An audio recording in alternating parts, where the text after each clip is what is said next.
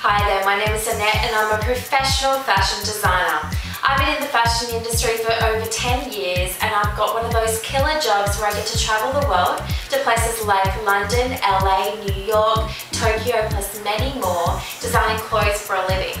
It's a killer job that many dream about. Well, I'm here to show you that you too can have the job of your dreams and design clothes for a living. Now a little I designed a piece of clothing that sold out in two days and earned $14,000 in the very first week. Pretty cool. Well, I'm about to reveal to you how you can do it too. How you can present your designs professionally, create a mood board, and land that dream job and now those job interviews and turn your designs into cash.